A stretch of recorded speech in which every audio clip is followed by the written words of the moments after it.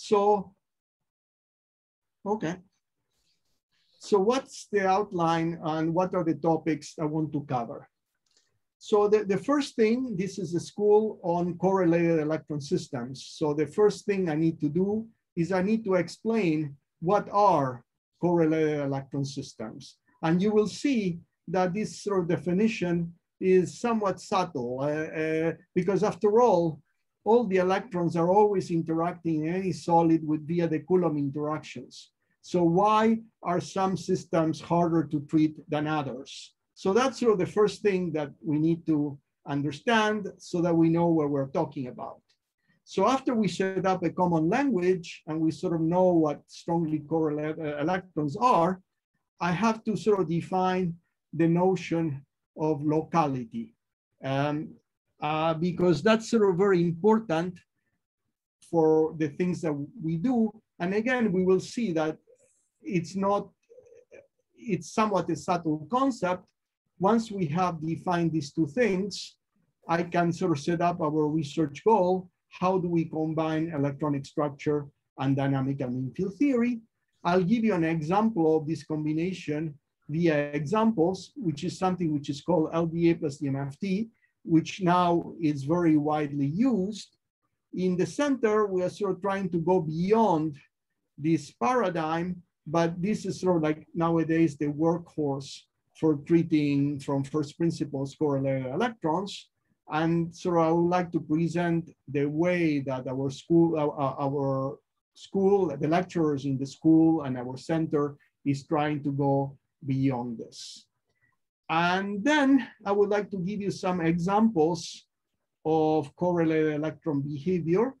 And I picked many probably I will only have time to cover one or two of these because there are many, many ways in which correlations can manifest themselves. It's an extremely rich field, but even my goal is not to cover everything, but just to give you some example why you should be interested in correlated systems and provide some targets that you may want to study with the codes that are going to be disseminated in this school. So basically is the that that's sort of the outline.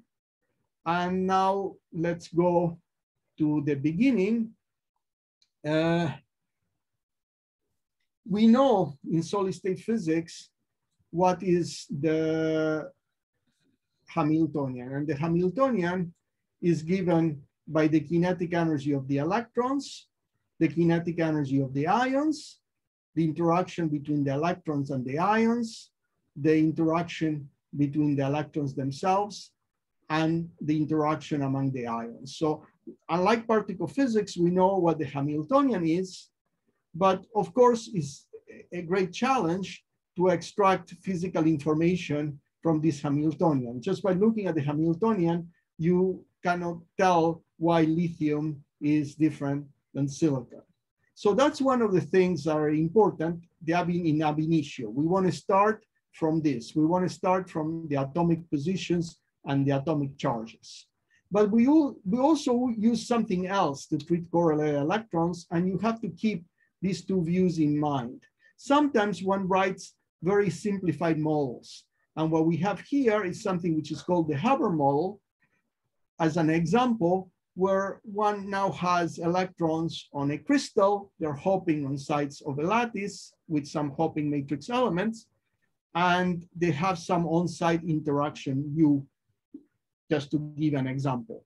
And what we've done here is we eliminated all the many, many details. We're only keeping some pieces of this, but we somehow trade this elimination of degrees of freedom by some effective parameters.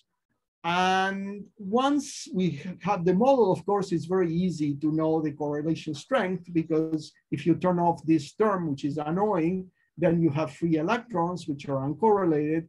But if you make this thing very large, then this thing uh, dominates the physics and it's very correlated. So my goal first is to explain what correlations mean for a Hamiltonian of this type, not sort of for the Hubbard model. Now, there's another notion that you should have, which is the notion of many body theory. So in principle, we know how to, um, how to deal in principle with any Hamiltonian where we have two terms. And now uh, I wanna use the Blackboard for a moment and I will simply share my board. And, it, and it's to do perturbation theory. Perturbation theory means that we sort of draw some diagrams where we have here the Coulomb interaction, and then basically we try to compute the free energy by evaluating all possible graphs where we connect green lines, which are called Green's functions, via those Coulomb interaction lines. And the Green's function is a central object of our approach, is a function of two spatial variables, R and R prime, because we have a solid, and the frequency. So that's a central object here, which is called the Green's function. And this is can be measured in spectroscopic measurements such as photoemission and inverse photoemission. And then basically, um, one can sort of summarize the, the, the interactions in the functional, in a Baym, is something which is called the Baym-Kadanoff functional, phi, which is a function of two things, the Coulomb interactions and the Green's function, which is the summation of all possible types of graphs with this Coulomb interaction and the full Green's function. And basically, that's a very important notion. In principle, if we sum all the graphs, we solve the many-body problem. And this is neatly summarized. I will stop sharing the Blackboard and I will share now my screen. And this is neatly summarized in what's called the Baym-Kadanoff functional, which is written here. Phi of G is what I explained you before, is the sum of all diagrams. And then we have some extra pieces here. We have G minus one, which is the full Green's function. G0 minus one is the Green's function that has just the Laplacian and the external potential. And the nice thing about this functional is that if we extremize it with respect to G, then we get something which is called the Dyson equation, which is the full, uh, which contains a, a set of equations for solving the many body problem in the solid, provided that you can add all the diagrams. So I'll sort of summarize that. And I'm sort of not giving you a derivation of this result, but just telling you that delta phi delta G is called the self-energy, which is the sum of all diagrams of this type up to infinite order.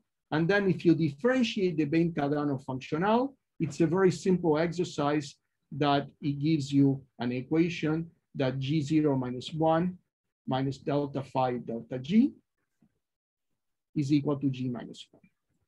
And G0 minus one is the only place that we have the external potential in the solid. So phi of G is universal. It doesn't depend on which solid we are treating. The only place where the information about the atoms is in here. So in principle, if we knew this universal Baym-Kadanoff functional, if we would know this, we have a solution to the many-body problem. In practice, one approach is to do the perturbative expansion. And now, uh, let me now go back and talk about let me share my screen again.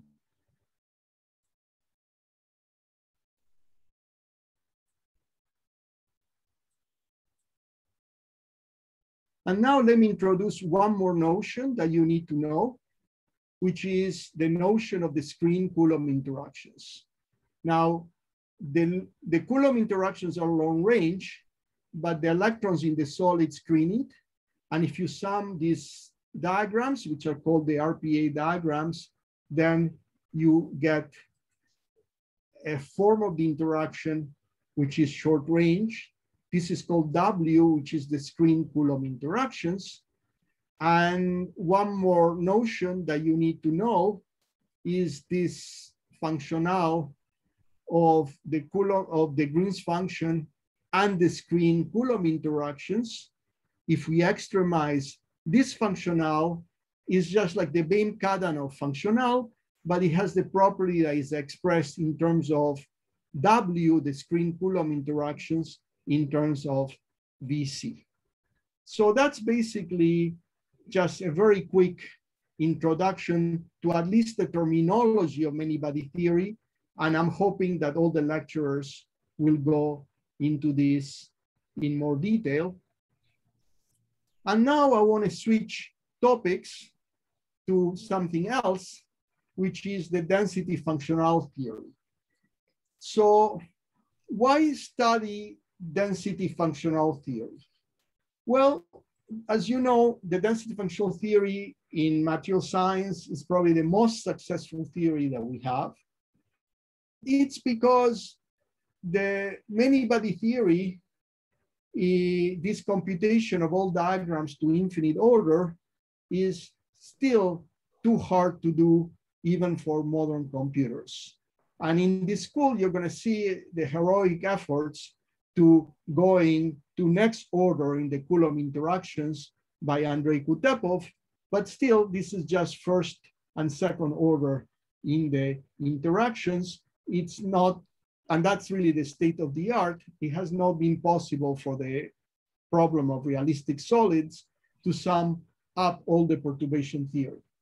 So it turns out that there is an approach which is simpler and it's in some sense um, much more economic, which instead of fo focusing on the Green's function, which has spectroscopic information, focuses on the density. So that's the key idea of the Kohn, Sham, Hohenberg approach to the density functional theory, which just like the Baym-Kadanoff functional says that there is a universal part of the functional that doesn't depend on material. And the material dependence enters only in a simple term via the crystal potential. And then we have some functional of the density where if we extremize this functional, we can compute the total energy of the solid. And thanks to this, people have been able to evaluate energies very, very, very precisely in many, many, many materials. And of course, this universal functional, the analytic form, again, it's not known exactly, but people have found very nice practical approximations to this functional, which enables the quantities to be computed. And again, probably I should use the board and give you a little more information about that. So let me share my screen. And go to the Blackboard. Another page to the board. This functional of the density is made of several parts. First, we take the kinetic energy of non-interacting electrons with density rho. Then we get the Hartree energy of the electrons. So we have the kinetic energy, we have the Hartree energy, this is the universal part. And then the rest we call exchange correlation of rho. That's what we need to approximate. But this we take from the uniform electron gas. And in fact, how do we compute the kinetic energy? Well, to compute the kinetic energy, this is the kinetic energy of non-interacting electrons.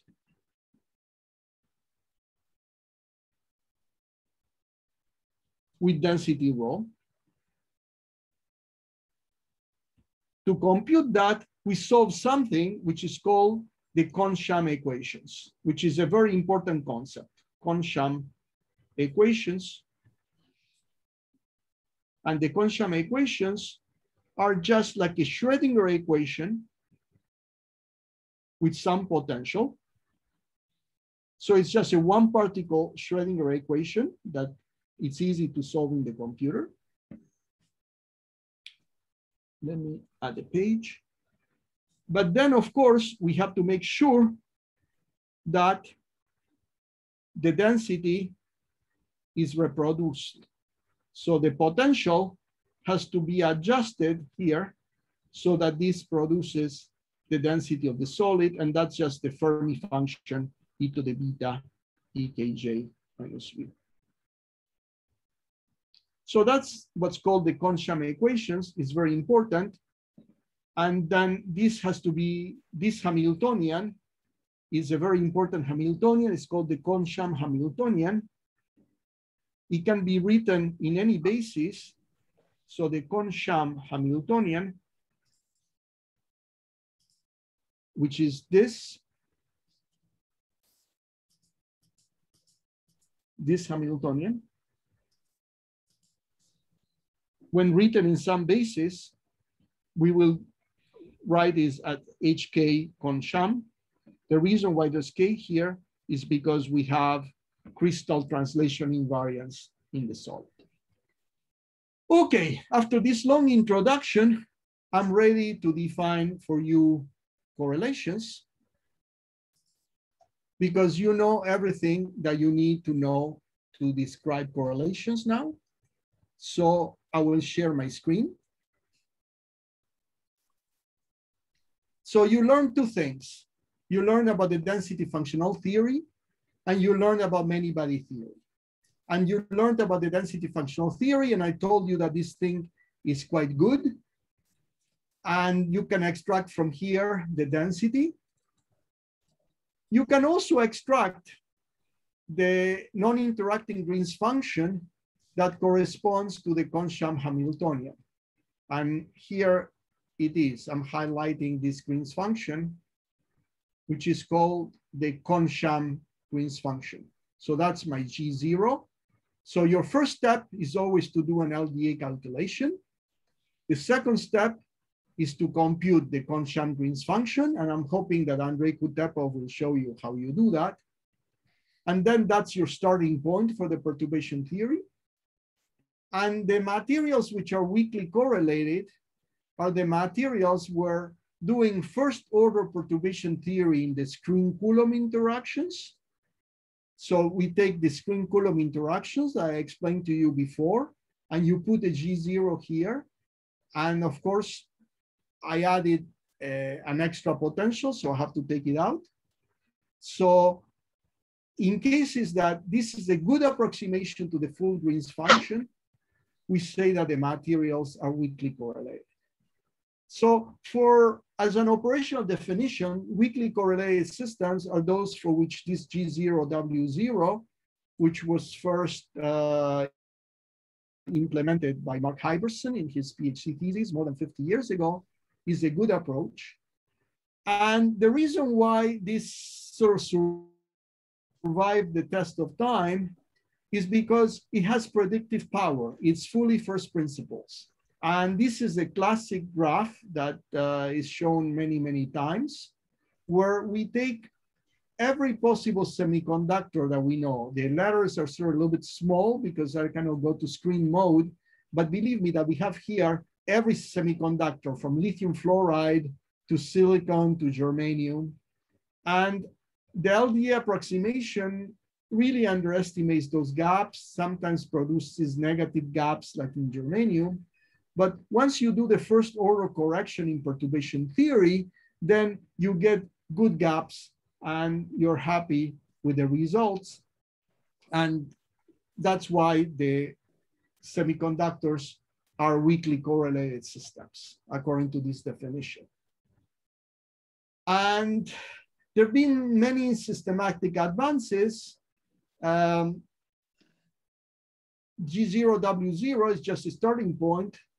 And what you're going to see, uh, hopefully tomorrow, or actually or this afternoon, or if not at the latest tomorrow, Andre will show you how you can make the calculations of gaps more accurate by not just doing first order perturbation theory, which was this graph, but going to the next order.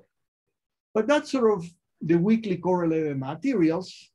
Our center is interested in treating all materials. We are inclusive, and we would also like to treat strongly correlated materials. Those are materials where this connection to the bands of density functional theory does not apply. And in this case, you cannot really follow the textbook and do just perturbation theory or band theory. And the reason for that is that these materials have a lot of atomic physics at low energies, and that's not captured correctly by the band theory. And they're interesting because they do many big things, colossal magnetoresistance, unconventional superconductivity, giant thermoelectric responses. There are many useful materials which are strongly correlated. And until very recently, there was very little quantitative theoretical guidance in this area. But with the methods that you learn in the school, which are the dynamic mean field theory plus electronic structure, we found some way of just going beyond perturbation theory by just going to all orders while retraining a local approximation. And that's sort of the, the, the, the tool that we're going to use. And in the talk by Sang Choi, where he's going to show you how one can use dynamic mean field theory on top of electronic structure to make predictions for materials which, unlike semiconductors, they're not connected by perturbation theory to the density functional theory. Now, just to sort of motivate you, we know how to make correlated materials. They appear throughout the transition metal series, the 3Ds, the 4Ds, the four, or the F series, four Fs or five Fs. And basically, usually appears when you take the transition metals, which have open shells. That's why the perturbation theory doesn't work, because when you have open shells, you cannot describe the open shell of an atom just in terms of a band, which is describing a closed shell. And they do very useful things. It's just a nice example just to walk across one series, like the transition series, the, the, the 3D series, and you see vanadium oxide is a fantastic material because it has a room temperature metal insulator transition. You can use that to make smart windows. If you go to manganese, Lanthanum strontium manganese 03 is known because of his giant colossal magnetoresistance. You can tune the resistivity of the material with tiny changes of the magnetic fields. If you go to cobalt, you get uh, things like lithium cobalt oxide, which is the material which has been the workhorse of the battery industry for many years. Uh, John Goodenough earned the Nobel Prize for the discoveries and the developments of these things. And finally, the, if you go to copper in the D9 part of the series, you end up with high temperature superconductors, which are the copper oxides. And again, the issue is that on one side, if you, the spacer layers, what they do is they separate the transition metal ions.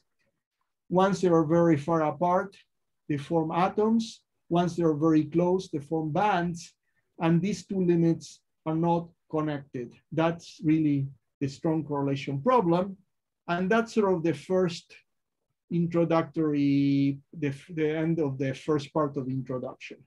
So let's wrap up what we've done. I asked and I gave you a, an answer to what are correlated systems. And in the process, we introduce things which will be needed for all the subsequent lectures. So now you know what the, the density functional is. what the GW method is, what correlations mean, what the Baym-Kadanoff functional means, how you do perturbation theory in W, and that's sort of what I call the Hedin program, doing perturbation theory in W. And I should stop here to see if there are any questions in the chat or on the Slack. Are there any questions? Can you hear me? I, I, yeah, I can hear you, Gabi. I don't see any. Okay, so if there are no questions, that means that we can move on to the next topic. And the next topic is just a just a minute, uh, guys. Uh, just feel free to, if you have any questions about Gabi's uh, presentation, please feel free to just write in chat, and we'll get to you. Okay. Um, so please speak up, uh, whatever comments or questions you have. Thanks. I, I do see a question, Gabi. Um, yeah, so please read it, read the question because again, I mean, I cannot monitor yeah, yeah, yeah. Here, three screens and the chat, but yeah. I can listen to the question. So somebody want uh, Mao Yang wants a, a, a, textbook recommendation for learning Baym-Kadanoff, but I think the functional formula. Right. Okay. So it's in any many-body theory textbook, Baym-Kadanoff textbook, but it's in any many-body textbook. And in fact, uh, let me go to the beginning of the lecture. Uh, and the, I, I should recommend a, a, lecture, if you're interested in many-body theory of solids, there is a series of lecture notes which are free. They are available to anywhere, to anyone. And here is the web address where you can download it. Those are schools that have taken place in the winter and have been organized by Erik Koch and Eva Pavarini.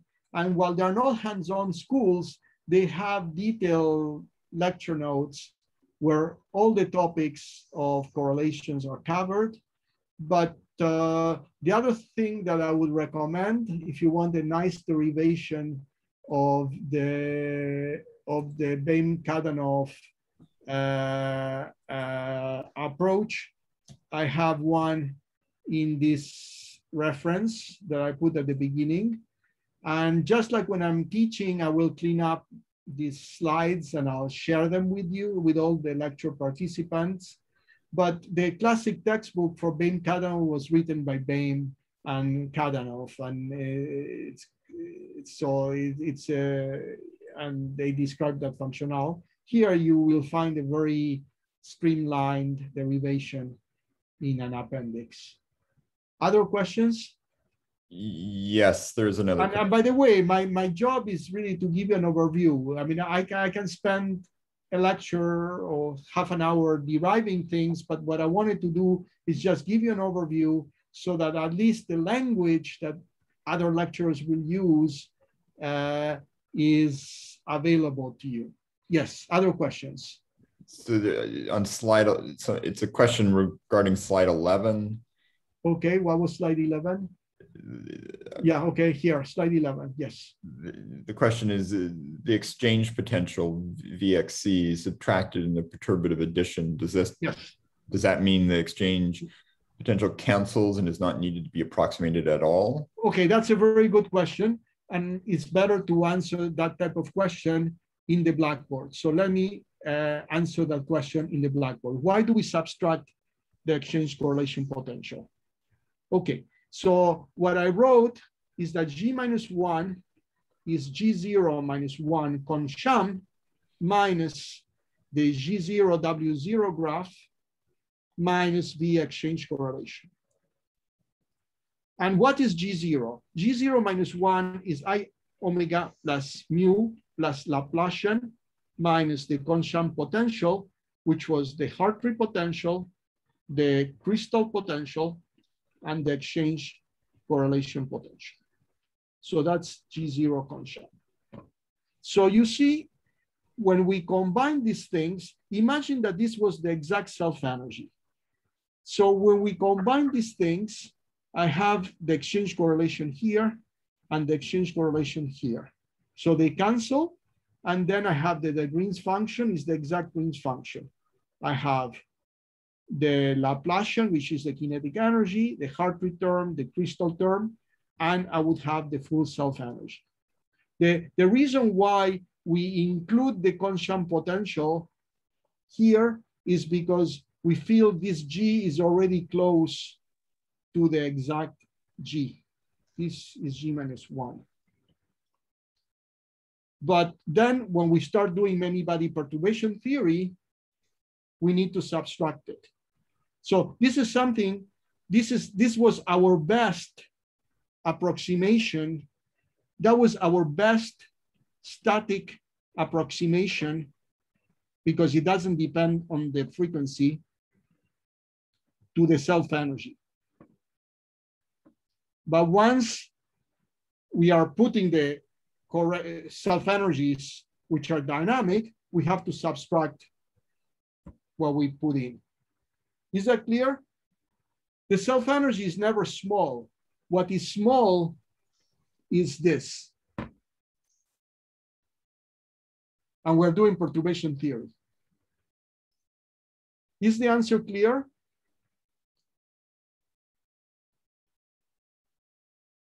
So the Kohn-Sham Green's function is like a free Green's function where I added the exchange correlation potential. The exchange correlation potential is something I add to try to approximate my full Green's function. But then, if I'm going to do something more exact, I put the more exact result, in this case, the G0, W0 self-energy, but I need to subtract what I put at the beginning.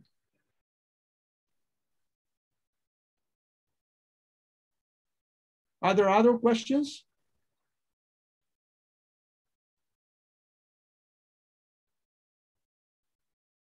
What is the exact Green's function of the solid? The exact Green's function, in, in other words, this, this would be a good Green's function. B Hartree plus B crystal plus GW. Okay, this will be a good Green's function. But to get to the good Green's function, that's the one that gives us the exact gaps. To get to that, we work in two steps. First, we subtract, and then we add. And this thing here, we called the Kohn-Sham Green's function. This is not good enough to get the gaps. This is good enough to get the gaps, and this correction is relatively small. All right, so let's continue. So, so Gabi, there is another question, another two okay. questions.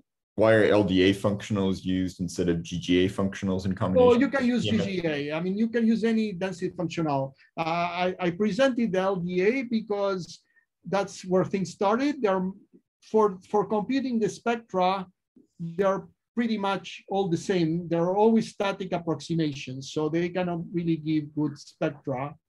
Uh, but uh, of course, there are improved functionals.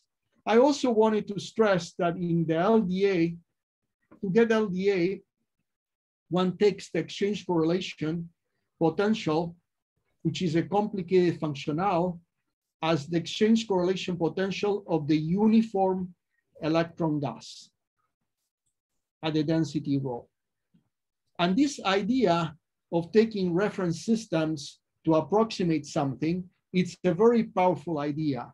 And it will appear in the dynamic mean field theory. So the reference system is the uniform electron gas. Is there any other question? Yes, uh, there's a question of why full electron potentials are used rather than pseudo potentials.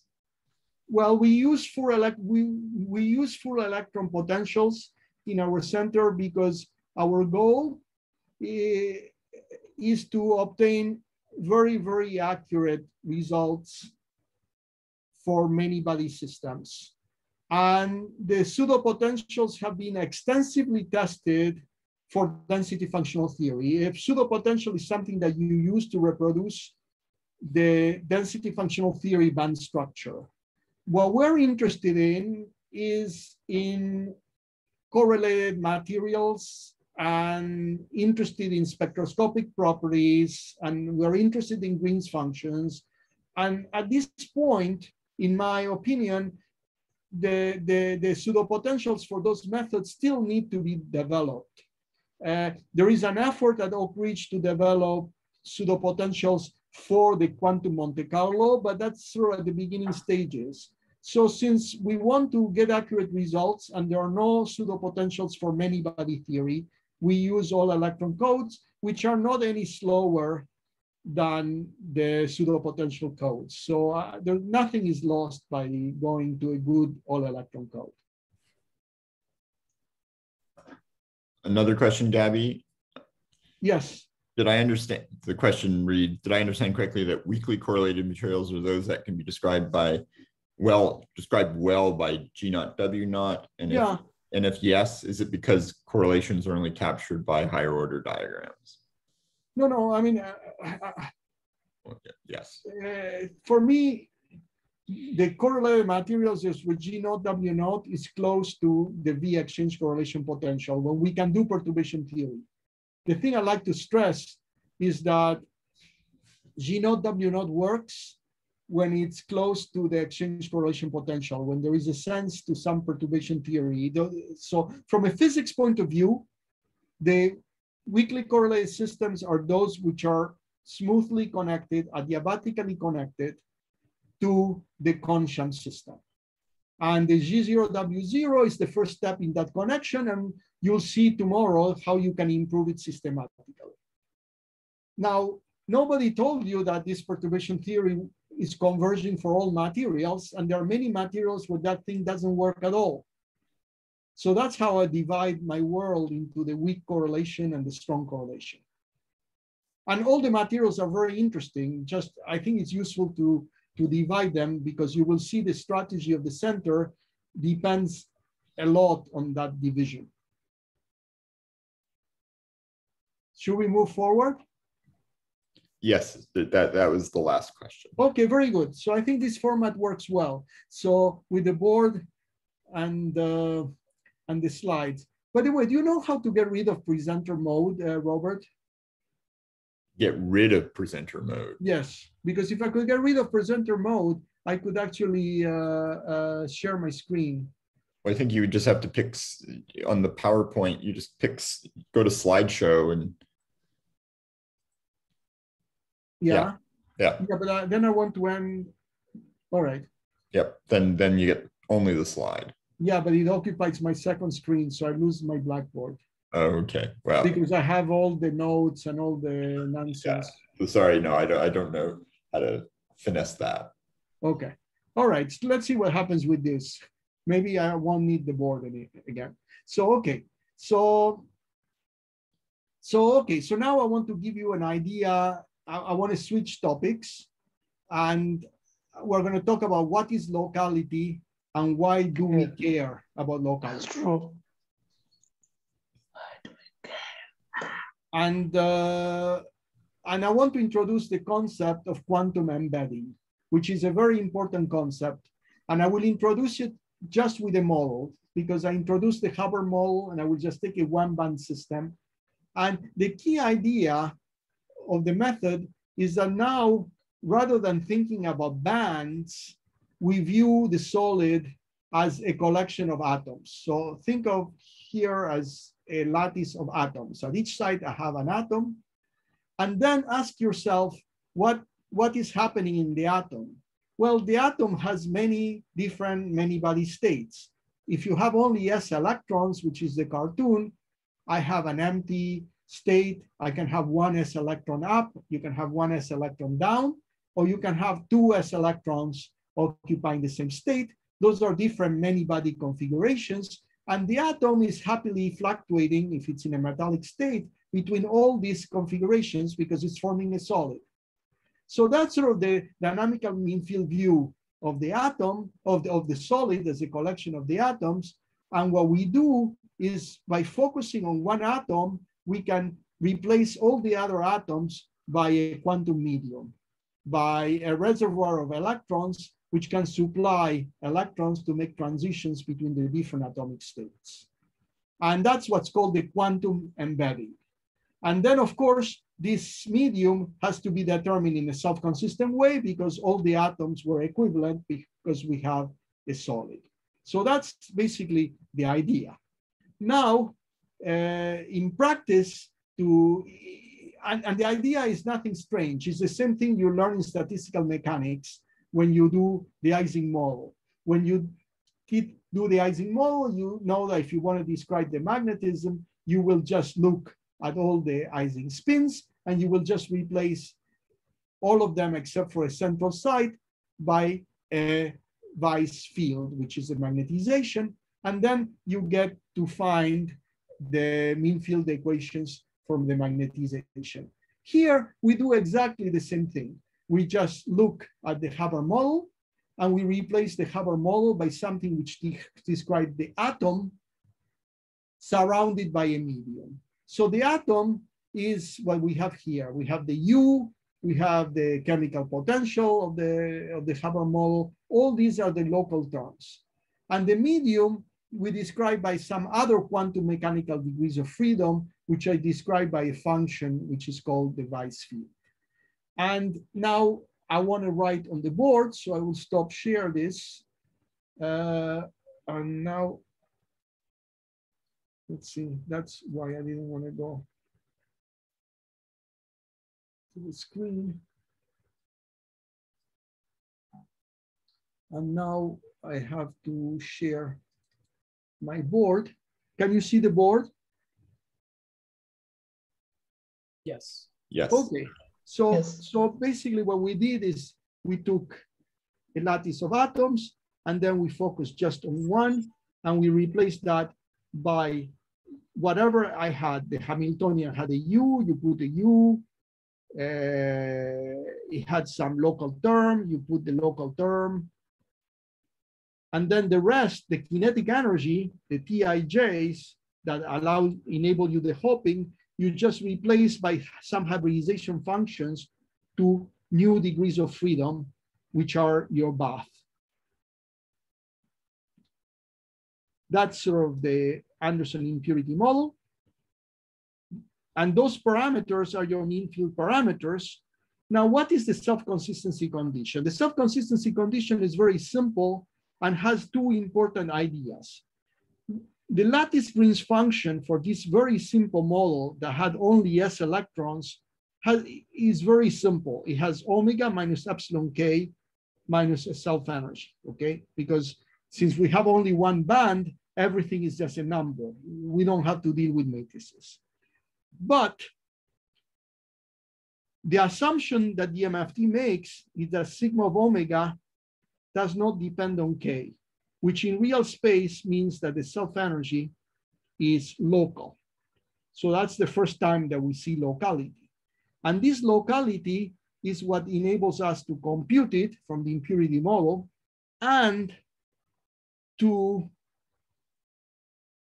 determine it in a self-consistent way. Why?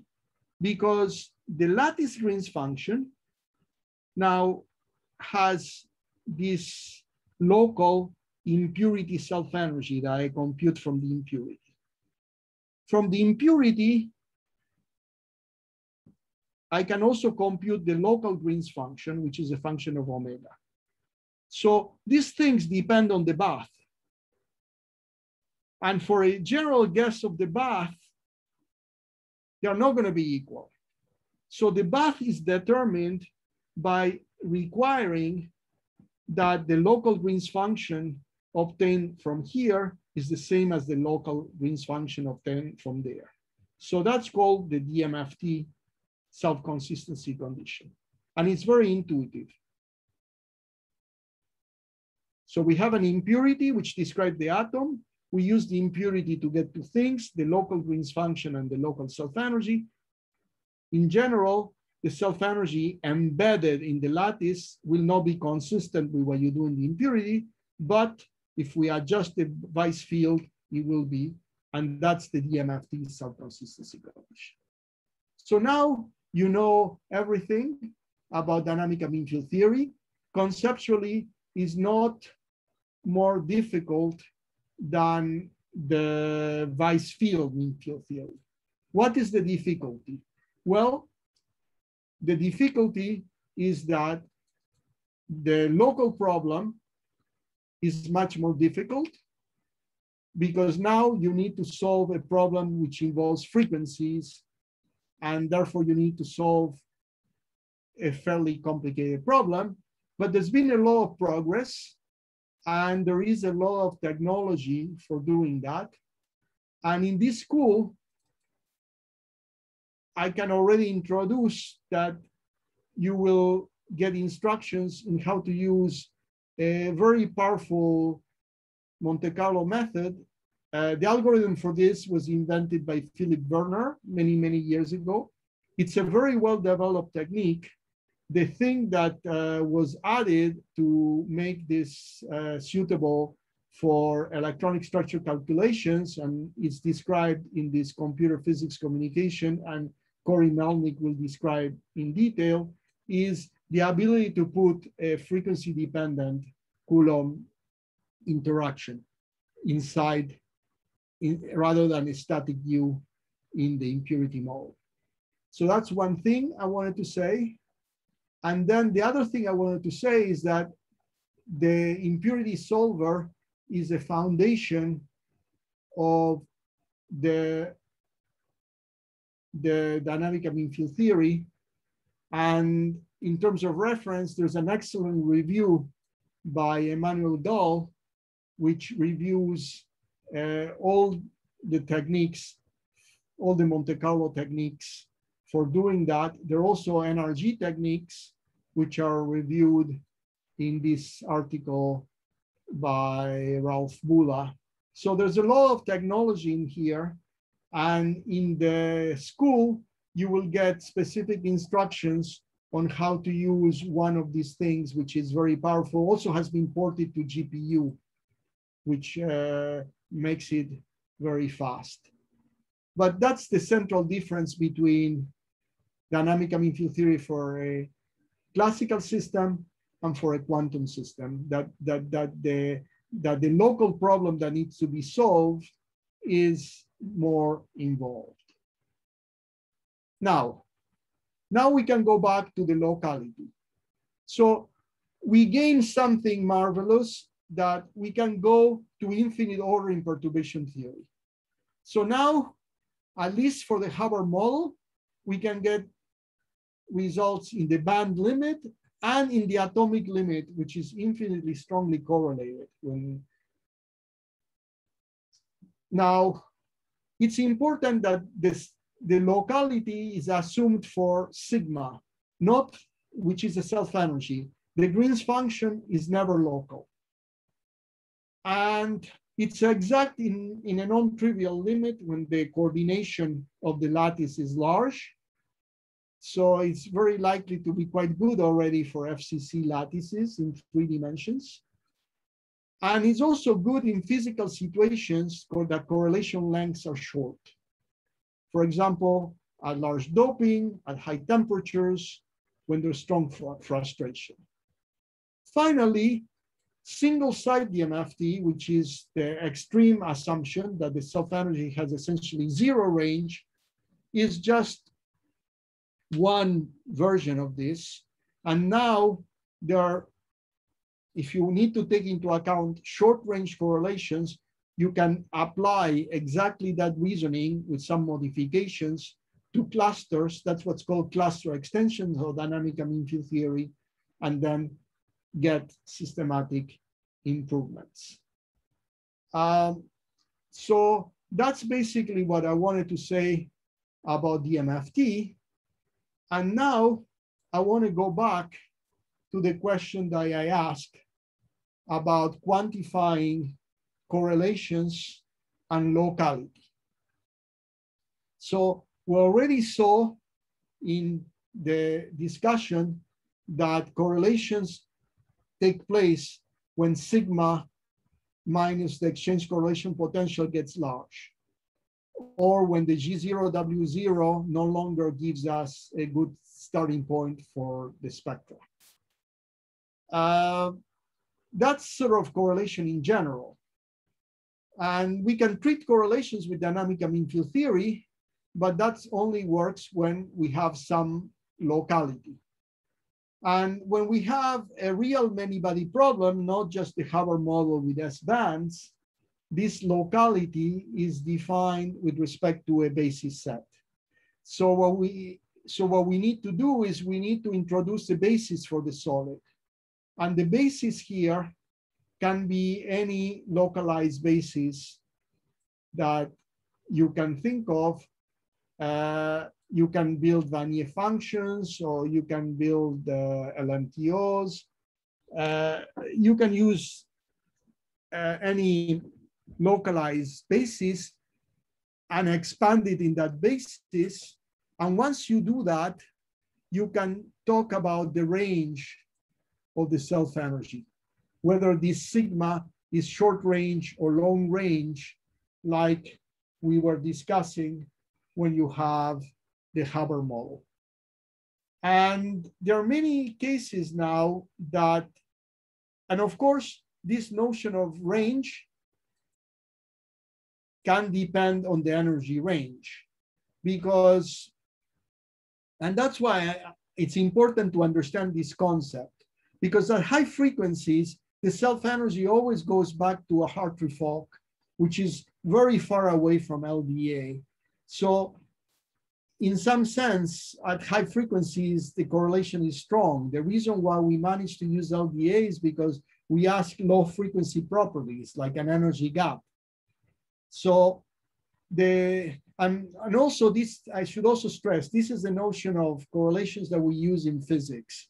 The chemist means something else by correlations, which sometimes confuses the issues because in chemistry, the starting point is not LDA, the starting point is Hartree-Fock. So for a chemist, correlations are differences with respect to Hartree-Fock. But in this lecture, correlations will mean differences with respect to LDA.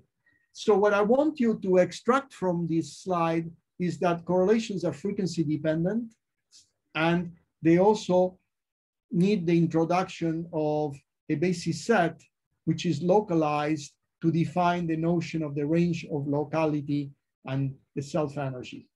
And if I have time, I will show you some recent work uh, where we try to take some material and from experimental data, we try to show that the local approximation is actually quite accurate. But um, okay, so maybe there's one more thing. How am I doing with time? I use my first hour. So I would like to mention one more thing. Why this notion of locality is tricky. because it's something important to understand and there's a lot of confusion in the literature. Once, so again, on the notion of locality.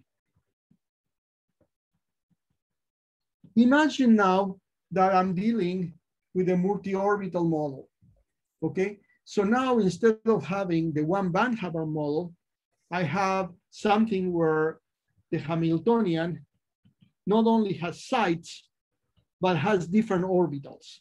For example, imagine I want to treat D electrons, or I need to treat F electrons. So alpha and beta now run over a bunch of indices. So alpha are my orbitals. And alpha can be 14, for example, if I'm dealing with F electrons. And now, of course, the interactions are also a little bit more complex and I still will take them to be local.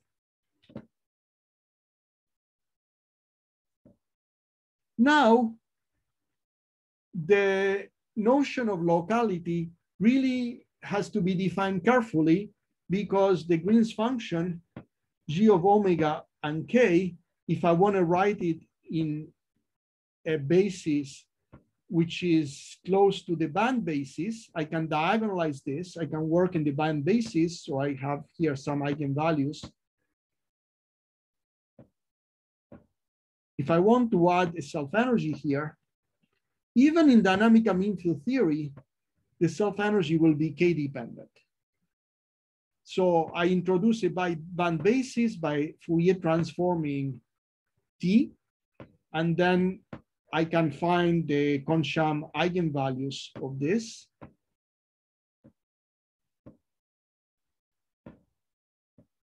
Because it's just a small matrix, I can sometimes even diagonalize it by hand and find the, those are the band eigenvectors.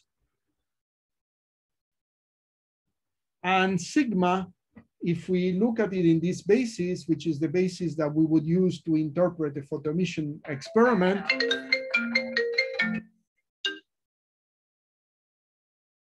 is um, is uh, this sigma is k dependent. The, of course, I can look at it in real in a real space basis, and gij to the minus one is going to be i omega plus mu minus plus t ij, which now is a matrix. And now the matrix will be diagonal.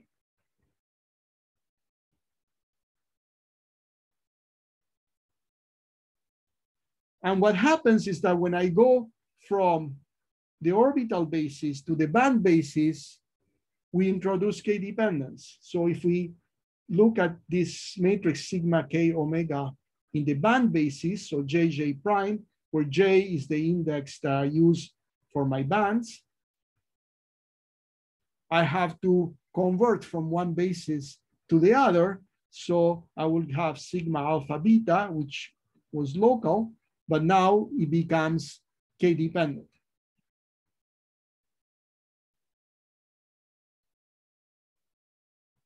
Okay, so the notion of locality always refers to a basis set. A, this is a concrete example that you can see why. In here, we started with some tight binding basis. In that basis, things were k-independent, but when we transformed to the band basis, it became k-dependent. And it becomes even more um, so when we try to generalize this example to more complicated examples. For example, when we go to the Anderson lattice model, when my H of K becomes more complicated, when we have SPD electrons and F electrons here, and here we have the F block and the SPD block. So we have a matrix now that is very large. And now my matrix, my sigma will go here. That's my sigma matrix. But of course, when we go back to some other representation to get J of omega and K. What we need to do is we have to write the Hamiltonian, and then we need to take this small block and embed it in the very big space, and that introduces some K dependence. So when we want to determine from an experiment how strong is the non-locality or how strong the k-dependence is, we need to first eliminate these form factors to extract the true self-energy.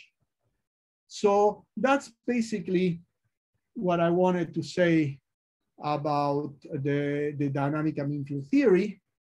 And uh, it's composed of really very, very simple operations. The first operation is an operation of projection where we go from the full Green's function to a local Green's function. And sometimes when we have many, many electrons, the projection not only focuses on getting the local Green's function, but also the correlated block. So this projection, when I go from PG to G loc of the F electrons, is a projection that builds the locality but also takes the correlated block. That's the, the, the first idea, the idea of projection. Then there's the idea of embedding that once you get the self-energy from the impurity model, we have to embed it in the Green's function. And that's what's drawn here. This is the embedding. And the embedding uh, can be something very simple, like for example, when only the F electrons are correlated, we just need to draw a big matrix and put the sigma in that block. That's an example of embedding. Uh, but it can be more complicated. We may want to go back to the full Laplacian plus V Kohn-Sham and embed the self-energy of the impurity in the full Hilbert space of all the electrons, including the core electrons and the very high energy electrons. But it's always the same concept of embedding. We, we, when we go from the lattice to the atom, we project. When we go from the atom to the lattice, we embed. So those are the two things. We go from the atom to the lattice and we embed. When we go from the solid, probably solid is a better word than lattice. So when we go from the atom to the solid, we embed. That's E. And when we go from the solid to the atom, we project. And P, uh, the atomic, let's say atomic shell, the correlated atomic shell. So that's basically the two key ideas. And those are the things that are used in the self-consist in the DMFT self-consistency condition. We start from a solid, we do a projection, we get an impurity model, and then we embed it back in the solid, and we request that this is self-consistent. In the process, there's a, another thing which is an important concept, which is solving, which is solve the impurity model. So we have the impurity model here. Impurity model gets a bath that I call delta or G0 minus one, and that delivers the impurity, sigma of impurity. So this is called the solver and solve. So we saw so there are three important ideas, solver, embedding, and projection. And if you have these three ideas clear in your head, you can write dynamic mean field theory for any system in question because all you need to do is uh, write what we call a DMFT loop. So what is a DMFT loop? A DMFT loop. So let me add one more slide here.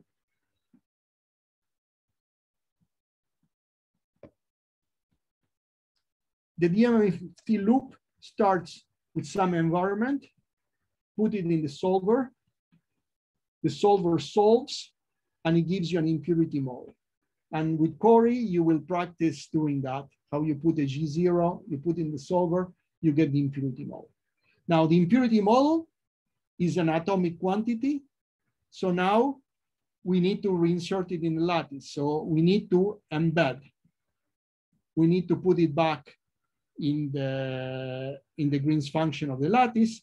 And for a realistic system, it's sort of complicated because h of k is fairly big depending what you keep in your valence, you can have, uh, I don't know, 20, 30 bands. So these are big matrices or more. Uh, we can do up to 200 bands. And then we need to put this sigma impurity in this thing.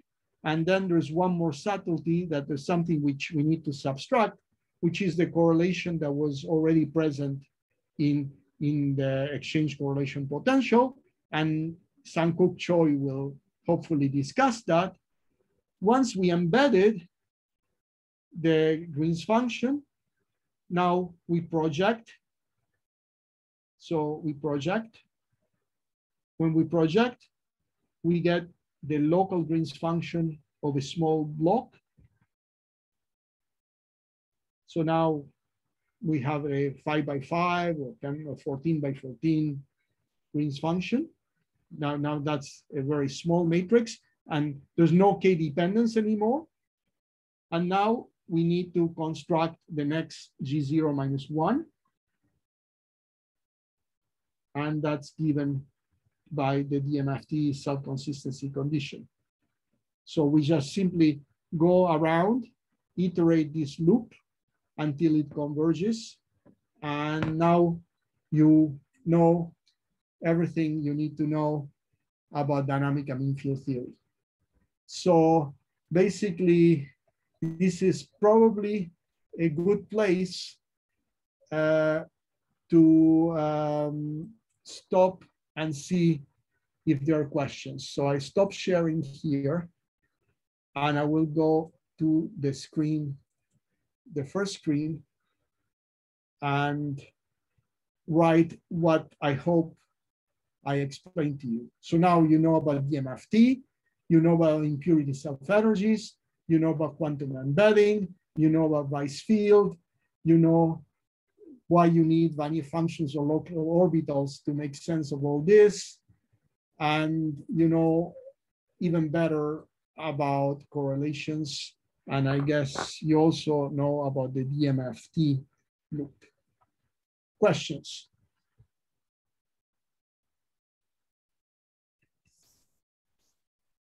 No questions? I'm not seeing any right now, but let's Okay, wait a sec, maybe. okay, I can wait for uh, a minute. And if not, we can move on to the next step. The next step is that we're going to look at how we combine the, the, the two things that we learned.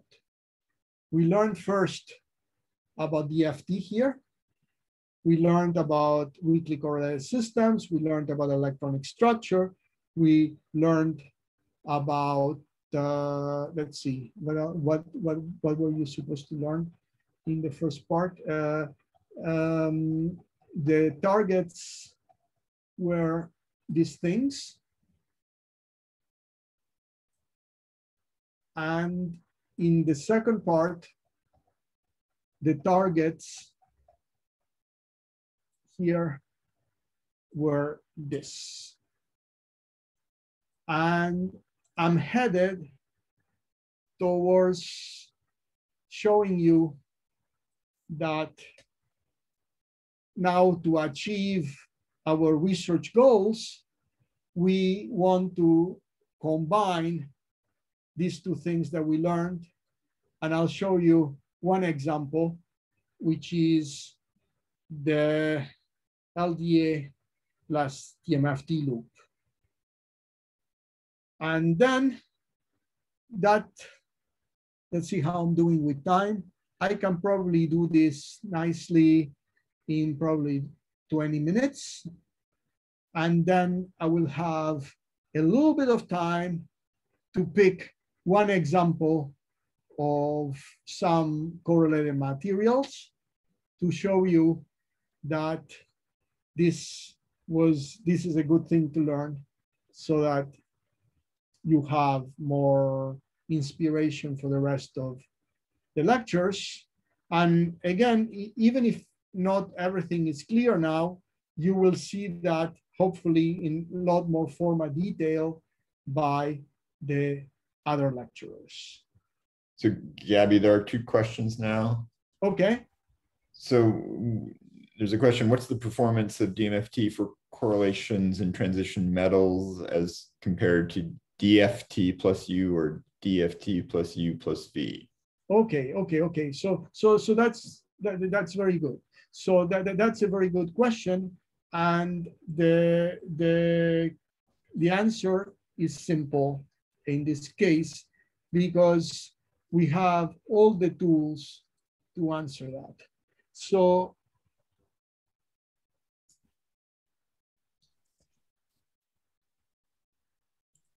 So the Green's function in DFT is given by, sorry.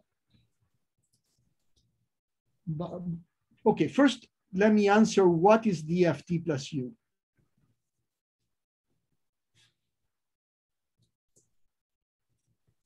Now, DFT plus U is DMFT if one uses Hartree-Fock as the solver. So if we take this sigma impurity and we replace it by the Hartree-Fock value, UA, B, C, D, uh, and AD minus UA, B, C, D. I think I'm getting the, hope, I'm hoping I'm getting the indices right. So CC, CC. If you, if you do Hartree-Fock on this interaction, and you replace it here, you get LDA plus U. Now, the important thing is that this is a static quantity.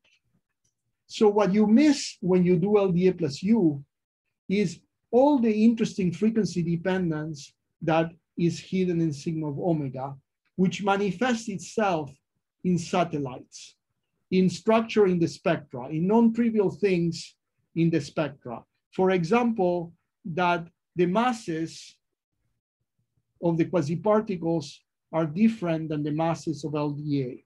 So in the example of the iron pnictides that I will show, you, you can see that there's renormalizations of the order three and in nickel, in iron, which is the thing you were interested, in, which are the transition metal oxide, there are also very large um, mass renormalizations. So all that is missed in DFT, is missed in DFT plus U. It requires something which genuinely contains the frequency dependence of the self-energy. What is the, so what is missed is frequency dependence. And of course, temperature dependence.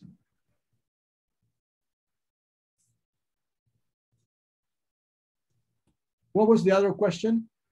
Well, there's there's so uh, will DMFT work well for antiferromagnetic or ferromagnetic materials? Yes, it's been used extensively uh, for iron, nickel, cobalt. All these things have been studied with plus And the satellites show up and the effective masses come in. So it is, if you're interested in those problems, I think it's a good method to use. And I can provide references as well later. And then there's a, now a third question. Um, it's been uh, it's been brought up that depending on the type of projection method used, Wannier versus projectors, you will get different results from your D DFT plus DMFT calculation. Sure. The question is, is there any way around, is there any way around this issue? Sure, sure. Yes, okay. So, uh, okay, so maybe I should show, uh, um, I should show the, the, the, the, the last slide so that people remain in the school. So let me stop share this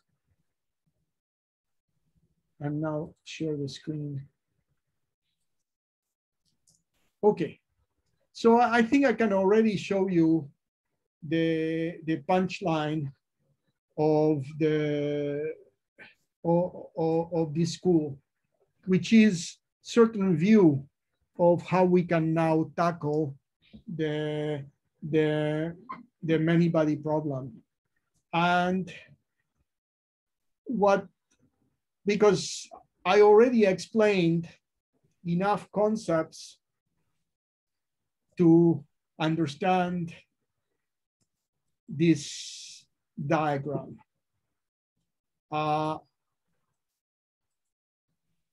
and there are basically two approaches to the exact solution of the many-body problem. One is sort of based on wave functions, and one is based on Green's functions. And this figure is from a review article that I wrote with Paul Kent, which leads another DOE center, which is focusing on improving wave functions. This summarizes the knobs that you have in Green's function method. So the so there, there, are two parts to this question, three parts. So first, let me give you the bird eye view, and then I will address the question in detail. So this axis is what I call the Hedin axis because Hedin invented the, the, the first principles method, the GW method. And it starts here with the Kohn-Sham-Green's function. And then the Kohn-Sham-Green's function, of course, depends on lots of things. Depends on the exchange correlation potential you have. If you take GGA or you take LDA, you will get different Green's functions.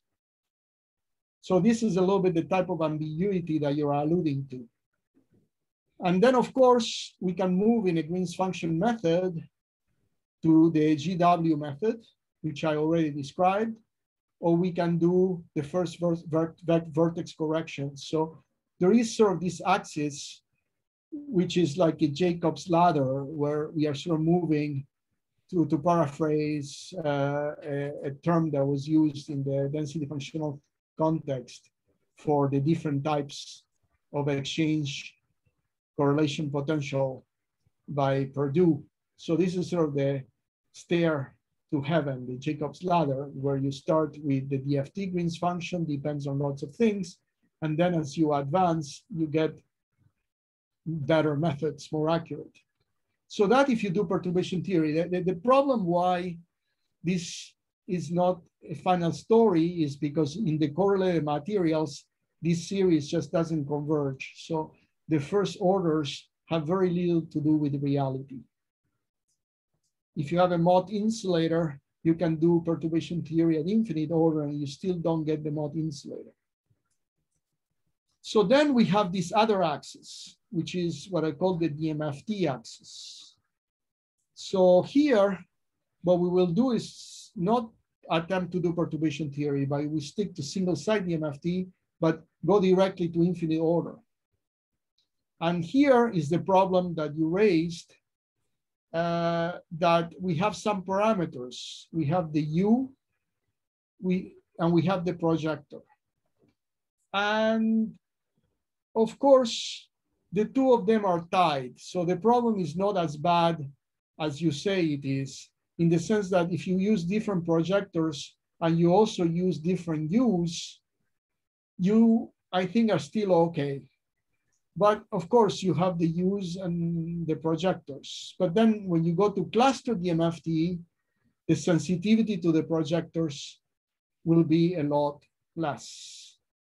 Uh, and once you go beyond the DFT, this level will be DFT plus DMFT because you're using the Kohn-Sham Hamiltonian.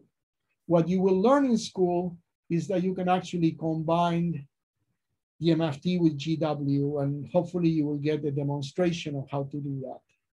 And then the, the, these problems disappear. So there is a chart on how we do better and we understand the problems, but how that happens in reality, not in a cartoon that one writes for science, you will have to sit through the lecture of Sam Choi and see how things work. So there are two levels answer to your question. One, I believe that if you change the projector and you change the U, you still will get uh, compatible results. And second, as you sort of improve the level of approximation, then things get better. Are there any other questions? I think th there was somebody wanted a clarification on what the solver in the DMFT loop is doing. Yeah, okay. So for that, I, I guess I have to go to Blackboard Yeah, there was. Yeah, okay. Yep. So, okay, so, so we have an impurity model. The, the, the impurity model has a medium. The medium is characterized by a function G0 I omega. It's I omega plus mu. In the Hubbard model, delta I omega. You can ask, what's the meaning of this function? This is something that measures the metallicity, that measures how, how the electron can escape from, from the bath.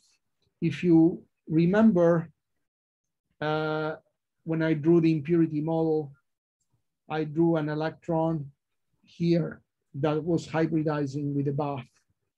So the hybridization delta is d square i omega n minus ek sum over k.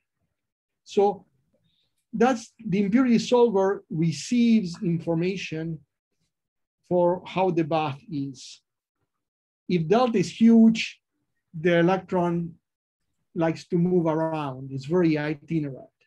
If delta is small, the electron is stuck. So you have a function. And, and, and as I explained, how localized or itinerant things are may depend on frequency. Some frequency may be localized and delta is small, and another frequency might be large. So you have this, this hybridization function. And from the hybridization function, you have to extract the self energy. And for that, you need to solve a quantum mechanical problem. That's the job of the solver. And you will see explicitly in Corey Melnick's uh, lecture how the solver actually works. Are there any other questions? Oh, there was a question. Yes, there was one other question. Uh, there was a question about what are the satellites? You spoke about the satellite. The yes, people, people. Okay, okay. So people like to measure ARPES. I mean, where you have the you make color plots. Here we have K. Here you have energy. You this is the photoemission effect. What got Einstein the Nobel Prize. You you eject electrons and see what energy they had in the solid or what frequency they had. And normally, if you have bands, you will see something like that. So that's a band. And you, you see well-defined bands. But sometimes you have many other features.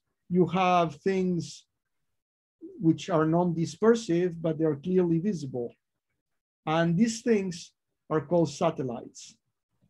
So those are features in A of omega and K, which is the imaginary part of the Green's function. Those are features in the photoemission spectra, which are not bands. The bands, we know what they are, we, but the satellites is something else. Uh, sometimes the bands are not the DFT bands. Sometimes the bands have kinks. Sometimes you have something that crosses the Fermi level and then does this. This is omega and K. So there are many, many features in photoemission. If you, if you want to do photoemission spectra, you will not get anything useful from just LDA plus U. LDA plus U can be okay for energies, for binding energies or for cohesive energies, but it cannot give access to the spectra. Other questions? No, that was the last one, Gabi. Okay, very good. So then uh, let me go and uh, explain how do we combine these methods because that's relatively easy. And again, probably I should do, am I in the blackboard right now? Do you see my board or you see the, yeah, you see the board, right? Yeah, we see the board. Okay, very good. So then let me sort of remind you now what we learned. So we learned about the DFT. We know we learned that the basic variable is the density. We learned that from the density, you need to get uh, some exchange correlation potential, which is a functional of R, and you can use LDA, GGA, whatever you like. Then you have to put that, if you want, in some Green's function. Uh, uh, which has the, the Hartree, the exchange correlation potential. And then that's the Kohn-Sham-Green's function to the minus one.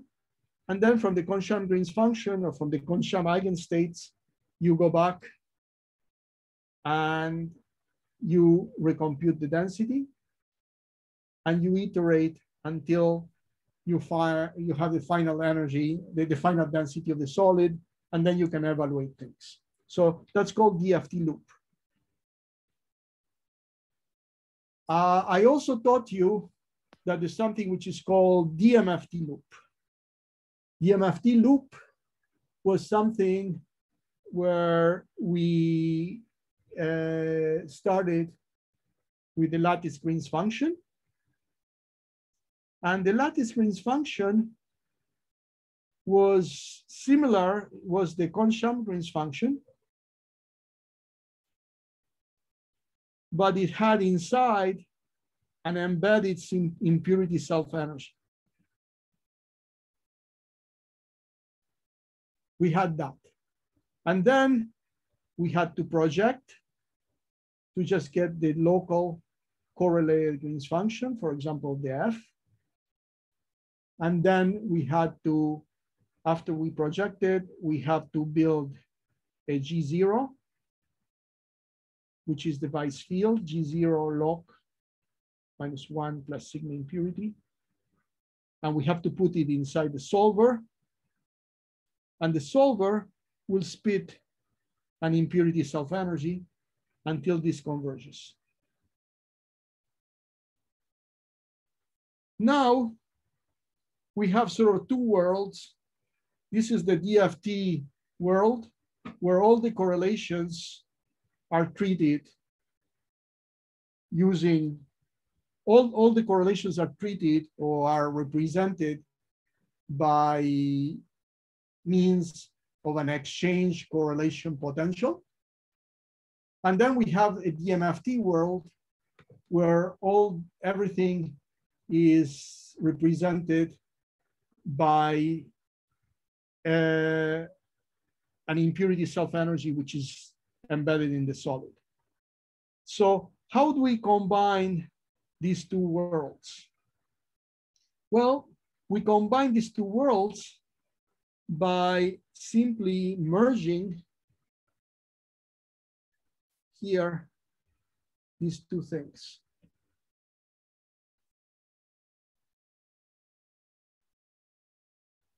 In other words, there's, we can simply, this is one thing we need to do. So this, we need to merge or combine these two codes.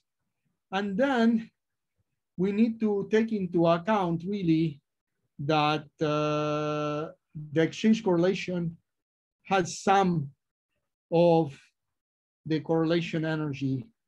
So adding any self-energy, we need to subtract something static, which is the part of the correlation that was in the exchange correlation potential. And that's why I introduced you already to that idea of removing this double counting when I showed you how we go from LDA to GW. So when we went from LDA to GW, we didn't just add the self-energy to the Kohn-Sham potential, but we took out the exchange correlation part and we added the self-energy. But those are the only two things that you need to do. So we need to put here something static, which is called the double counting.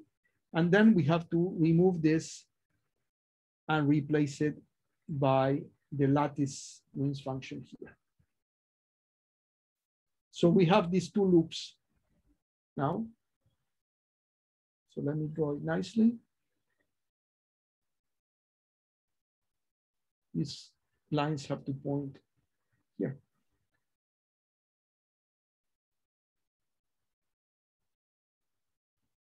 So now we have two loops which are combined because we can constantly up, upgrade the, the exchange correlation potential because we can get an improved density from the lattice. And we can constantly upgrade the lattice self-energy because we can improve our impurity self-energy uh, in each iteration. So that's basically what's called LDA plus DMFT. And now I can go back to uh, um, the slides. Gabi, Yes. there's there's a new question. Okay.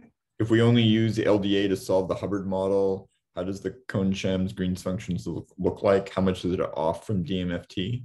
They're, they're, they're static. Again, I mean, the, the Hubbard model, the, the, the Green's function of the Hubbard model, let me describe. Let me describe the density of states of the Hubbard model. So in a sketchy way, this is for u much less than t in G loc. This is for u much bigger than t in G loc. This is when u is less than t when we have a metal insulator transition. So in all the static methods, the only thing that you can get is this. If your self-energy is a number, no matter what you put in here, if this is a constant, it's frequency independent, the only thing you can capture is this. You cannot capture, these things are called Hubbard bands. I call them satellites, things which are not in the band theory, which are present in all these systems. And uh,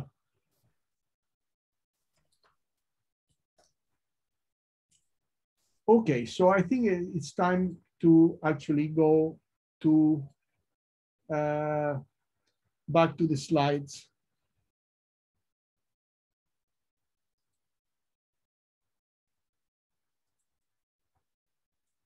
Okay, so so do you see now the slides? Yes, Gabi. Okay, all right. So that's what I derived, this DFT loop and this DMFT loop. And uh, uh, this is the modern form of the DFT plus DMFT things. And now there are basically many, many codes which have this DFT plus DMFT implemented. I would say almost all the electronic structure codes now have some form of DMFT in them because this has been highly successful. So the, the thing that we are going to try to do in this school is to go a, a little bit beyond that by combining these things with GW. And the goal really is to try to improve the accuracy, reduce the number of parameters, and be try to get something which is controlled where we can start getting estimates for when we're doing things which are not correct.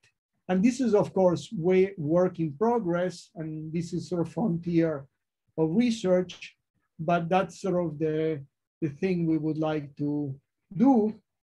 And I would like of to give you now some uh, examples in the last 15 minutes of different types of correlated physics just to answer some of the questions by, by showing you all these things that correlated materials do and why they are not described by simply LDA plus U or DFT. And okay, and I have just to motivate what's going to be in the school later, I wanted to start with semiconductors. And here, this is something I would like to highlight what Andre is going to show in his talk. Uh, here, what you see are the gaps of all semiconductors. And now uh, on this scale, the errors of the G0, W0, uh, or, or the self-consistent GW are big. But then you will see in Andre's, call, in Andre's talk how he gets closer to the results by improving the quality of the many-body approximation and see how answers improved as you work harder. And that uh, will sort of illustrate. Also here, there's something very important about the physics here. What, what one is measuring here is really the experiment with some electron phonon contribution to the gap subtracted. And that's somehow tricky. And there's quite a bit of physics in how you take that. Electron phonon interaction does make some important contribution to the gaps in semiconductors. But I would say that in terms of basic science, the problem here is relatively under control because one has some feeling that the perturbation theory is converging, that when you do uh, first order and second order, your answers get closer. So, so one is happy. And I would like to contrast that with something that the center has been studying, which is something like iron antimony 2, which is a strongly correlated semiconductor. Why is a semiconductor? Well, because this is the optical conductivity. And it turns out that the optical conductivity at low temperatures, these are the lines in red, uh, go to zero. So this is, this is actually a narrow gap insulator. And the reason why we're interested in it is because of its thermopower. If we look at not only, but that's that's something which is very anomalous. If you look at the thermopower, here you read 40 and 50, and you think, well, okay, 50 is not very big number. But when you look at the units, you see here this, this is not microvolts, which is the usual unit for thermoelectricity, but millivolts. So this is about a thousand times bigger than most things uh, that, that have been studied. So the origin of this is a big mystery. And this material goes from metal to insulator as a function of temperature. And when it does that, if we integrate the optical conductivity, we see that the optical conductivity is temperature, the spectral weight is temperature dependent up to something like 10 to the 3 or 10 to the 4 um, uh, centimeters inverse, which is a huge scale. Normally, when, the when, when the gap closes at 100 Kelvin, the, the gap is also of the, of the order of, of, of 100 Kelvin. So here, the redistribution of spectral weight is over a much larger scale. And finally, if you look at the susceptibility, which is drawn here, you see that this has some minima around 150 Kelvin. So this goes from being a Pauli metal to being a semiconductor. And also the specific heat is sort of strange. So it has all the signatures of strong correlations. And one of the things that the center set up to do is to um, try to investigate a material of this kind and answer what is the electronic structure. And this is the uh, what happens if you do LDA with the Becke potential, which is a little bit like LDA plus U. You, you find a gap which is too large. If you do LDA, the gap is zero. Uh, if you do GW, it still doesn't work and the gap is very large. The, the gap here is experimentally of the order of 0.1, a little bit less than 0.1 EV. Um, uh, about 70 millikelvin. But once we use the more advanced methodologies that combine GW with DMFT, we get closer to the observed gap but more important, we were able to predict the photoemission spectra. And now you sort of see uh, that photoemission spectra uh, has lot of features which are not precisely these band dispersions. So we can compare the results of theory and experiment directly. So that's basically one example of a material which is strongly correlated. And then I wanted to show you at least another thing which I think is very interesting, which is sort of Hund's metals to wrap up this talk. And because this is again something that uh, is very active and motivates why you may want to sit in a school like this and run codes and things like that. Uh, this is sort of the basic physics of Hund's. Uh, there's something which is called U, which penalizes charge fluctuations. So when U is very large, basically your N, uh, actually probably would be better to write here, N minus N zero, the, the, the charge stays fixed at some nominal valence. Now the Hund's coupling tried to align the spins of the atom. So what U does, it says that when you have configurations with different charges, it costs you a lot of energy to fluctuate between them. The J, what it says is that the configurations of the atom that are favorable are the ones which have parallel spins and different orbitals. You can think of it as being in a bus and thinking of the different rows at different orbitals. So people don't like to sit in the same row. So they, they like to occupy all the different orbitals, but they don't like to be in the same orbital. So J is concerned with orbital physics, U is concerned with charge fluctuation physics. And then with that background, I'll say a few words briefly about iron pnictides, which is again, a fascinating material because these materials are A, they're topological, B, they're strongly correlated, C, they're high temperature superconductors. And if you do the DFT, they basically have bands with electrons and hole pockets. If you look at them in real space, they are layers of iron surrounded by pnictides. So that's the material. And one very interesting thing that we learned from it, from the first principle calculations, is that these um, materials have correlations which are mostly controlled by the Hund's rule coupling and not by U. So that's sort of the advantage well, of models. I told you that you have ab initio and you have models, and ab initio strives to have less parameters.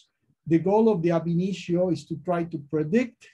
The goal of the model is to try to understand, and they all work together. So they, they there is a really a synergistic interplay between these two things. And once one tried to model these iron pnictides, it was discovered because people had not thought about that, that it's the Hund's rule coupling, for example, that controls the resistivity. Even with a very large J, the resistivity is zero. This will be this line when the Hund's coupling is zero. So there is a physical value for the Hund's coupling, which depends, of course, on the projector. And for that calculation, the approximately correct value is the, the, the green curve. And with those projectors, of course, one gets the correct answers, but you can vary the J and you see what effect it has, and you can learn about the physics. So that's why this is a very important slide. And what was predicted is that as a function of temperature, you have a Fermi liquid regime at low temperatures and a very resistive regime at high temperatures which is something that is seen in experiments. So this is potassium iron 2 arsenic 2. And at low temperatures, you have T square resistivity. The resistivity of this material is better than copper. So you have less than one ohm, one micro ohm centimeter. But if you look at high temperatures, the resistivity is like 500 micro ohm centimeters, which is five times the Mott limit. The Mott limit would be here. So these things are not well described by the standard theory of solids, and it's the results of the physics of J. And I will so show one more slide because that has to do with the quantitative part.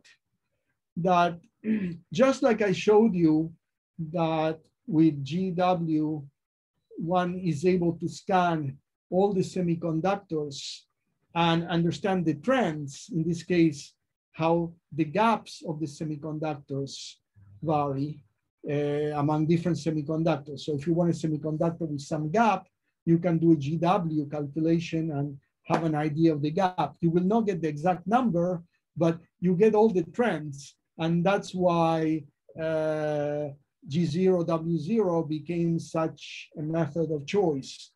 What we do here is we take all the iron-pnictides and of course, as was pointed out in, in, in, the talk, there are issues with what you take for projector and what you take for U. But here we take for U and projector the same for all the families. And we were able to predict all the trends in the effective masses for all the orbitals of all the iron-pnictides.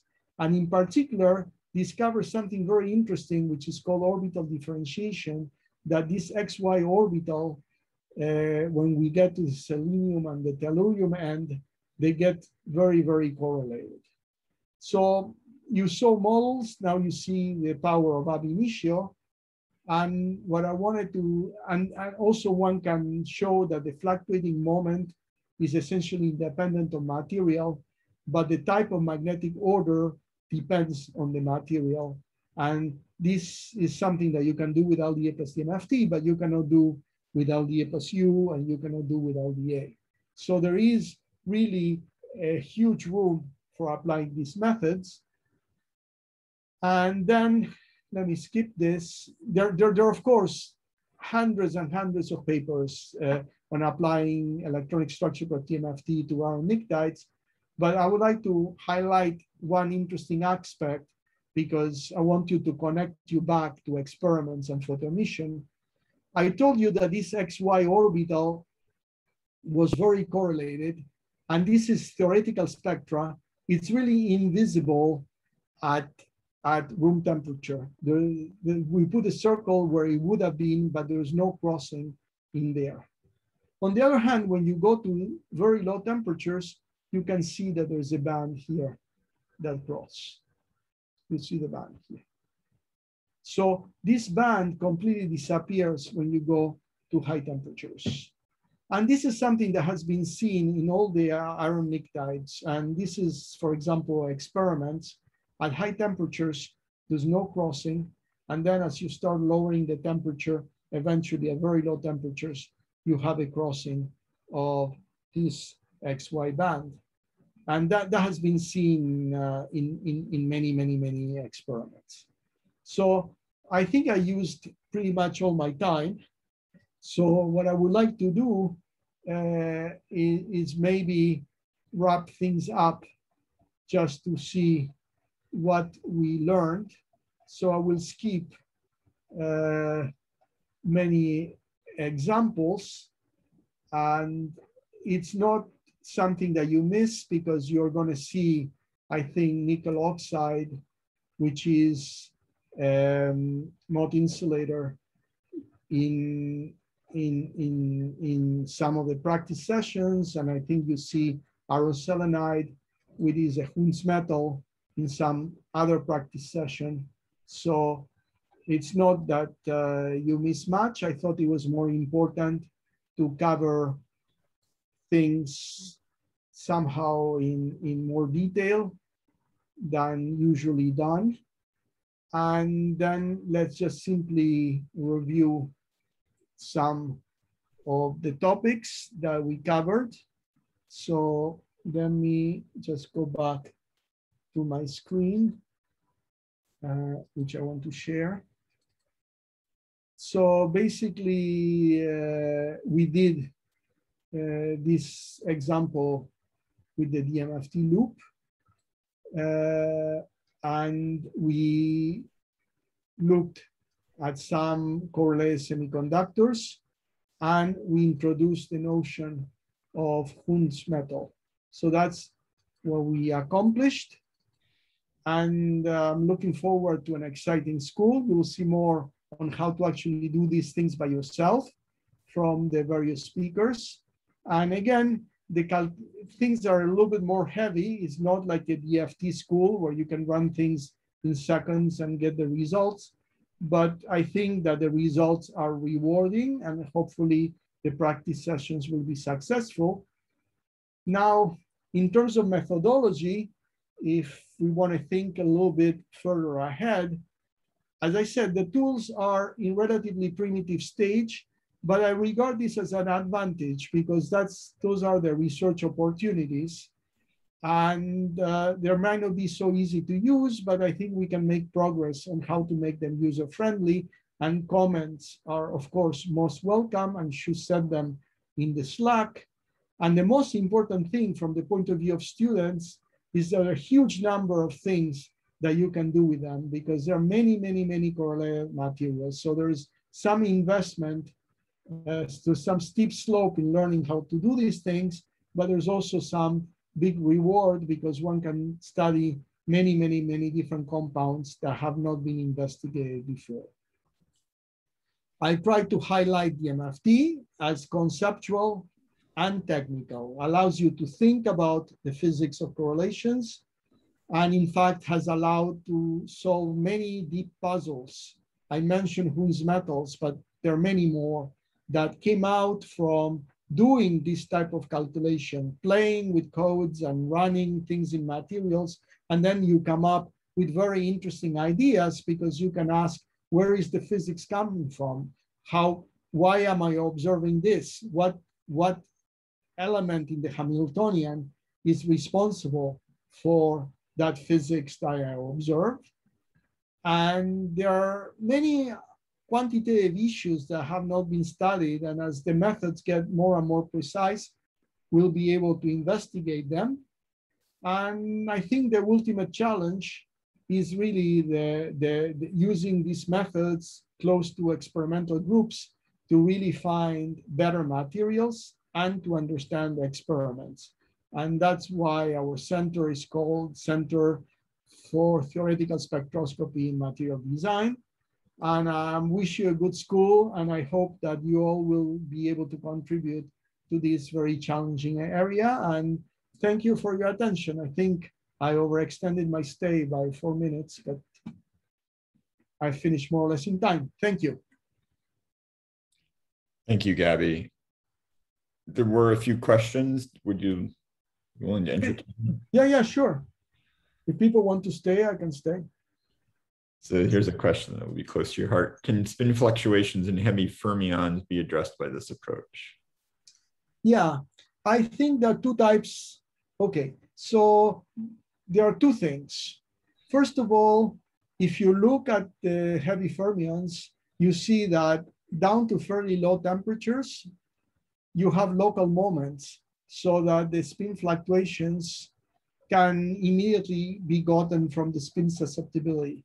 But uh, at lower temperatures, one can also generalize these methods and compute spin susceptibilities. In fact, Hyowon Park, who was a student at Rutgers and developed a method how to compute chi of Q and omega without the plus DMFT, has an article in Science where he computed the spin fluctuation of uh, spectra measured by neutron in some canonical heavy fermion system.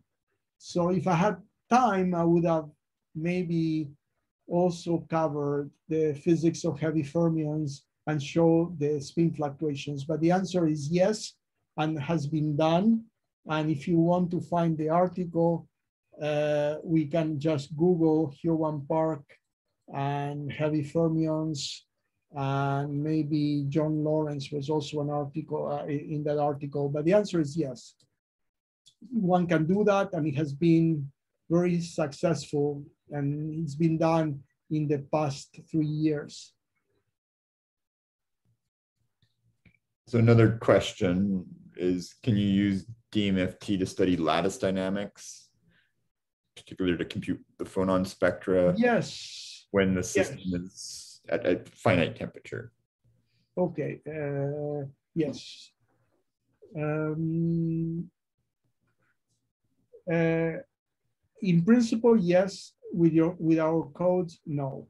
That's because we still have not implemented uh, the forces with the um, with the with these methods. And in fact, actually, I, I, should probably explain a little bit more what was the original plan of the center in this respect, uh, because it's sort of interesting, because it brings me to some um, to, to, uh, to, to, to something I should have probably done and I didn't do again because of lack of time. So let me share my screen again to answer that question. So share the screen.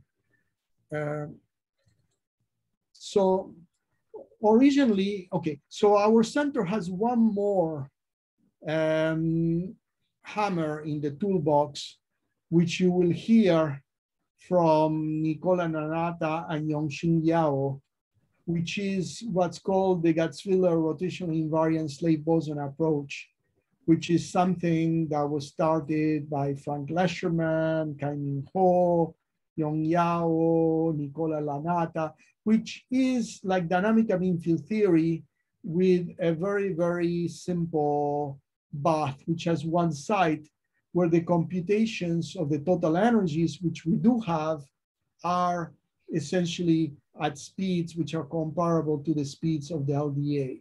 So our idea was to extend that to do phonons, uh, to have a fast method to be able to do forces and phonons um, with this two-site DMFT. But this is not implemented, but it is in the plans of the center, and I'm really hoping you'll see a lot of progress has been made, uh, and I'm hoping that uh, in the next year or so, we'll be able to go back to this project. So, uh, are there other questions?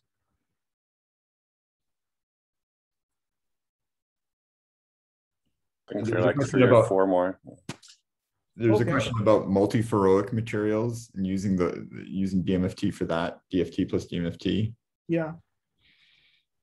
So yes, I mean, I, I think that in principle, um, uh, this is a very interesting area, but one would like to, if we want to go in there, what we would like, what one should do, this is a research project to be pursued. We should implement the Vanderbilt King Smith Resta formula in this context of LDF STMFT, because then we will, in multiferroics, what one wants is to get not just the magnetism, which one can easily get, but also the electric polarization, right? So for that, we need to compute the polar- polarization of the solid. And then, uh, in principle, it can be done. The Vanderbilt King-Smith uh, Resta formula has been generalized to uh, correlated materials. And in principle, there is a DMFT formula that uh, one could implement. So that's a very nice uh, research opportunity, but it's not implemented, but it, it's not hard to do. So in principle, yes, one would have to implement that. If somebody is interested in that, they should write to me and I can give them the reference of what needs to be done. But it's not just push the button. One will need to do a little bit of work before one gets with uh, LDA plus DMFT, the, the um, polarization, the ferroelectric polarization of the solid. But then it will be interesting because you can get both the magnetism and the correlation right and the ferroelectricity. So the answer is yes and no. In principle, it can be done. In practice, it's not just you push the button because it has not been implemented. But I know how to do it and I can tell you which paper you can get the equations. Okay. Thank you, Gabi. There, there's a question about DFT plus DMFT for magnetic systems. I think, mm -hmm. and, and in particular, could you can you use this to extract the, the effective J in a metallic system? Yeah, I mean, the, the question of how of, of the determination of J and determination of parameters does deserve a talk in itself. And this um, and, and this approach and the approaches that we have are really well tailored to do that.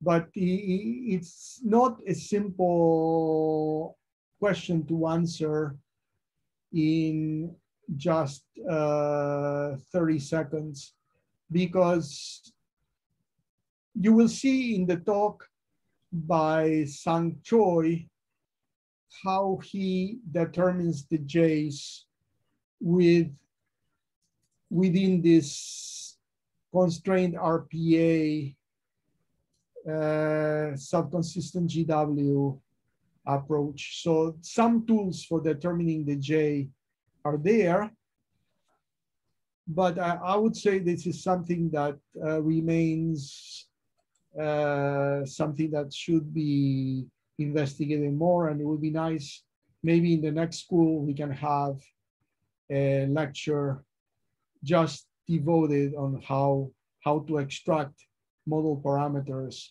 from this type of calculation. And in the meanwhile, let me just simply share my screen to finish answer the first question.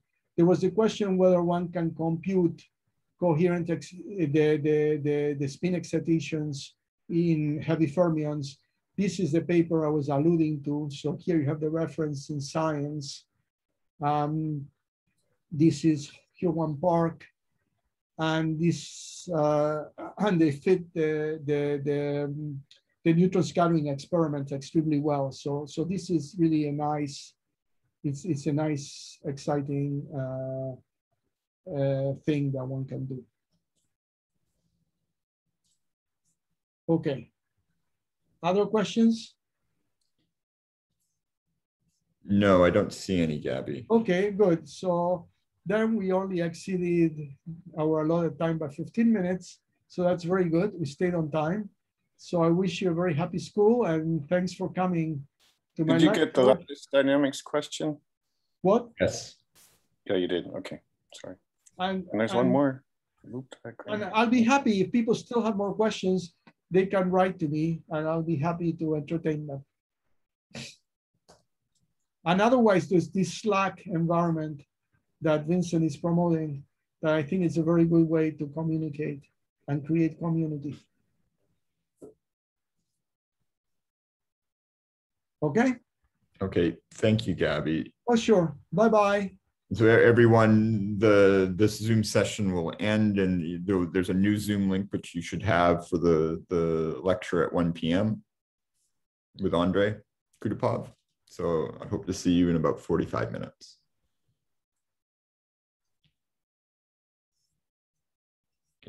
Bye-bye.